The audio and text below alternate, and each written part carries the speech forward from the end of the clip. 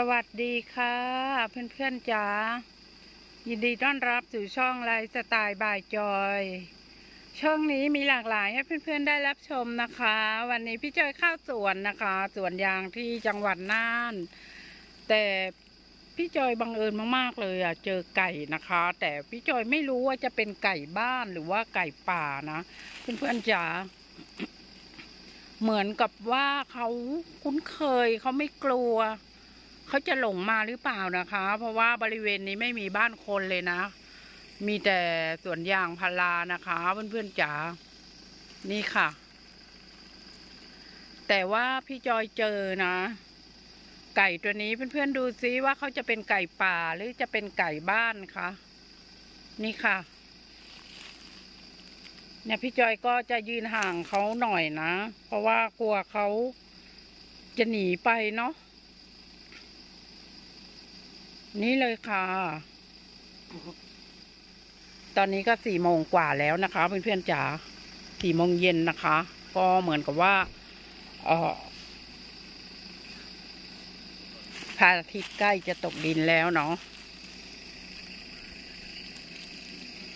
นี่ค่ะ เดี๋ยวพี่จอยต้องโทรไปถามคนงานดูนะคะ ว่าเขาเอาไก่มาไว้ตรงนี้หรือเปล่านะคะ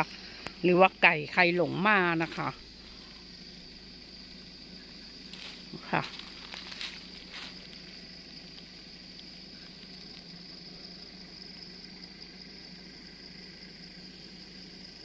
ค่ะ อันนี้ก็จะเป็นสวนยางนะคะรอบๆ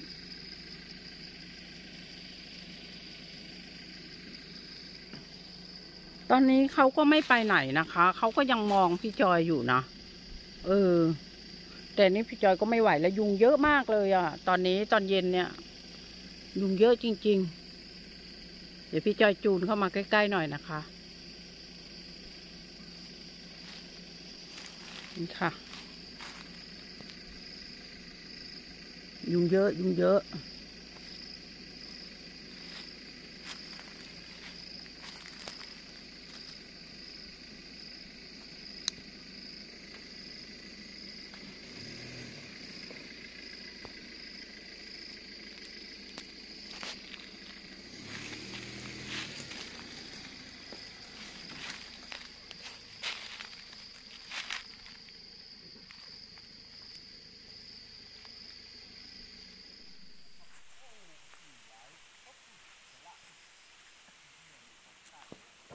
ขอบคุณนะคะที่ติดตามรับชมขอบคุณทุกกำลังใจที่เข้ามาอย่าลืมกดไลค์กดแชร์กด subscribe กดกระดิ่งกริ๊งๆแล้วก็อย่าลืมกดติดตามพี่จอยด้วยนะคะ